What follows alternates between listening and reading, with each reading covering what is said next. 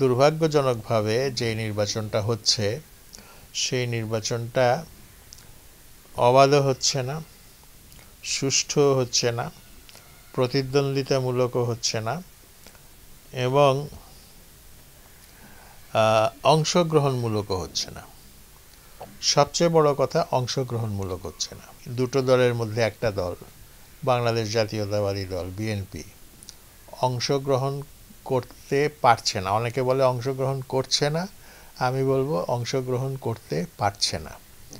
পারছে না এই কারণে যে তাদের অংশগ্রহণের পথে কাঁটা বিছিয়ে দেওয়া হয়েছে। প্রচুর বাধা সৃষ্টি করা হয়েছে। এবং আঠাশে অক্টোবরের পর তাদের বিরুদ্ধে নির্যাতনের স্টিম রোলার চালিয়ে দেওয়া হয়েছে। শত শত সহস্র বিএনপি কর্মী এবং নেতাদেরকে গ্রেফতার করা হয়েছে এবং তাদেরকে নির্বাচনের পথ থেকে দূরে সরিয়ে রাখা হয়েছে এবং তাদেরকে না পাওয়া গেলে তাদের আপনজনদেরকে সন্তান সন্ততি বা ভাই বোনদের গ্রেপ্তার করা হচ্ছে। এই রকম ঘটনা কিন্তু এই দেশে আমরা অতীতে কখনো দেখি নাই, যেটা ঘটছে। বিএনপির শরিকরা তো আর সেভাবে শক্তিশালী নয়। এবং শরিকরা কিন্তু সবাই যাচ্ছে না, কেউ কেউ যাচ্ছে। এমনকি বিএনপির মধ্যে থেকেও এক আধজন যাচ্ছে। সেই এক আধজনের যাওয়াটা বা শরিকদের মধ্যে কারও কারও যাওয়াটাকে আমরা ঠিক যাওয়া বলতে পারি না এটা বিচ্ছিন্ন ঘটনা। যারা নির্বাচনে এইরকম একটা পরিস্থিতির মধ্যে বিচ্ছিন্নভাবে, বিক্ষিপ্তভাবে যোগ দিচ্ছেন, তারা যে খুব আনন্দের সঙ্গে হ্যাঁ প্রীত বোধ করে আনন্দিত বোধ করে একেবারে এটাকে একটা উৎসব মনে করে যোগ দিচ্ছেন, এটা মনে করার কোনো কারণ নেই।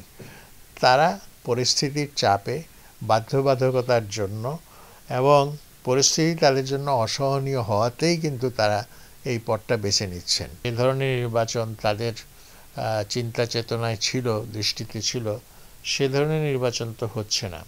সেই দিক থেকে এই নির্বাচন যে গ্রহণযোগ্যতা পাওয়া, সেটা হয়তো পাবে না। তবে সেগুলি সবই আন্তর্জাতিক পরিস্থিতির উপর নির্ভর করে।